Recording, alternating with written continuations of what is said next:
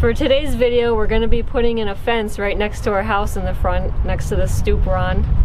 Doug's gonna be digging a hole Mhm. for the fence post. We're Yeah. gonna put up kind of like a privacy fence, just one panel. Yeah, we just bought the post. We got everything we need, so we're gonna get to work. So this is where we're gonna do it. We have this spot that we dug up before, and um, we're gonna be putting a fence right here. and We're gonna be attaching this gutter to the back of it. So that's our plan today. It's just a little privacy fence for our own reasons. And we're gonna be using one of the fence panels that we got a couple weeks ago for free.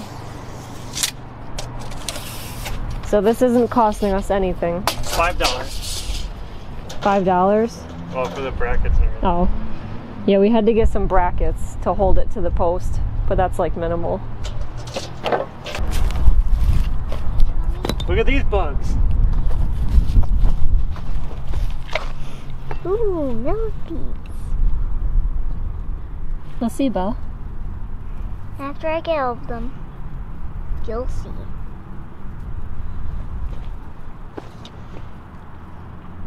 What are they, Belle? Millipedes. Yep.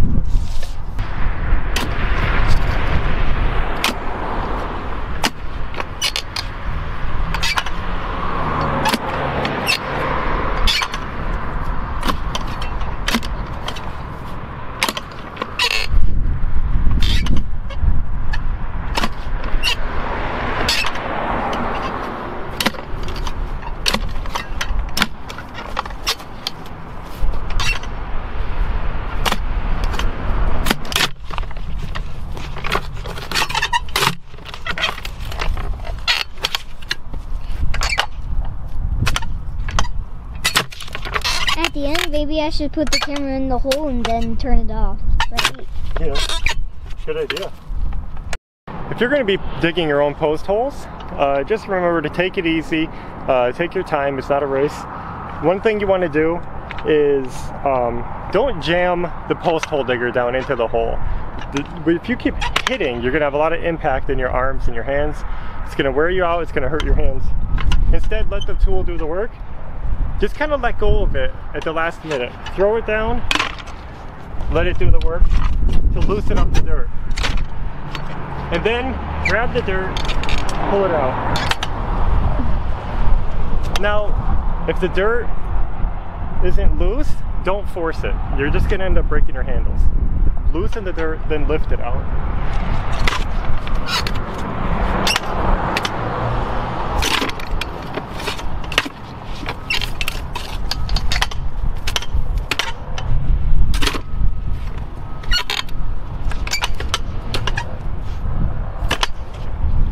It's not so much a shovel. You don't want to try to really squeeze and try to dig that dirt out of there because it's going to put a lot of stress on the joints and that's how you break your handles, you ruin your tools. You just want to use it to pick up the loose soil.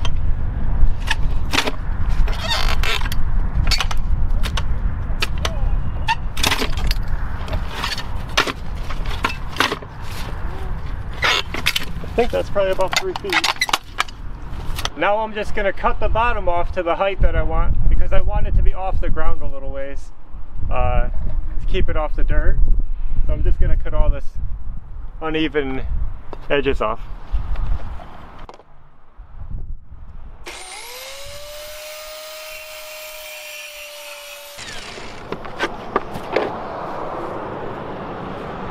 Now we're gonna flip it over and cut the other side the same way.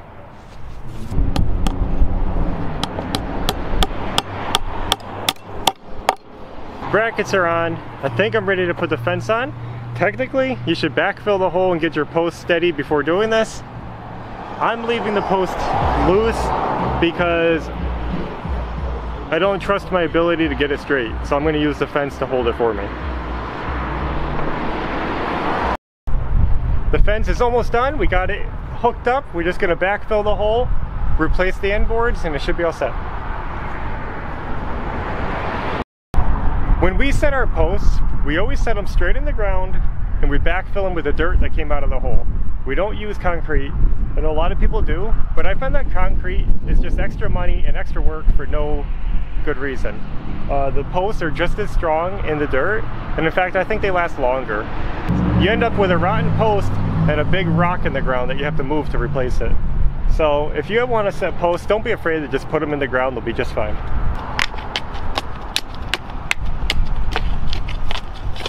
Okay, we just got done putting the fence up. We still have to paint it. And we put this cap on the post. It's a metal cap. And it came out really good. So that's it for today.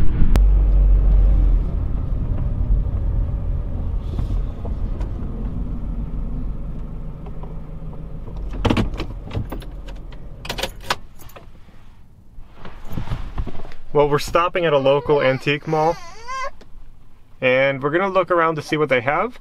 Um, maybe keep our eyes open for some oil lamps. We've been wanting some. You know, everybody's getting into this off-grid lifestyle, so we thought maybe we'd get a little prepared too. So, let's see how it goes. Is that a lava lamp? No, no, no, oil.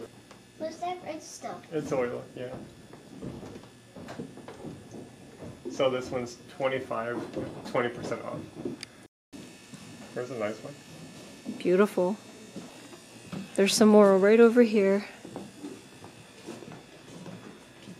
Red and yellow. There's a cute little one.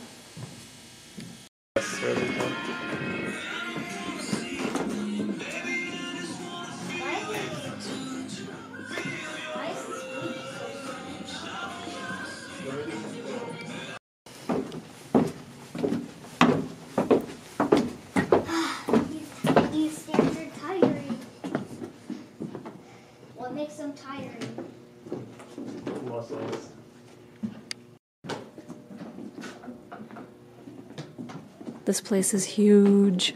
Three stories. Tons and tons of chairs.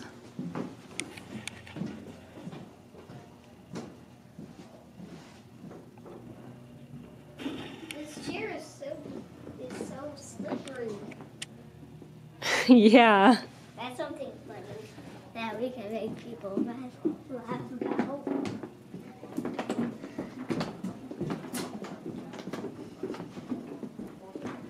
What, Slowpoke? You, ne- you never run.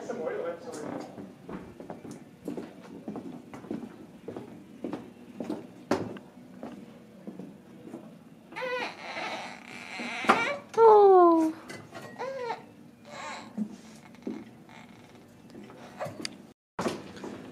So I guess this is an old chicken feeder. It's a pretty cool design.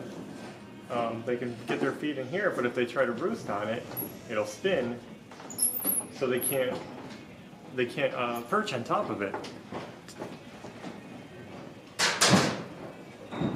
And they want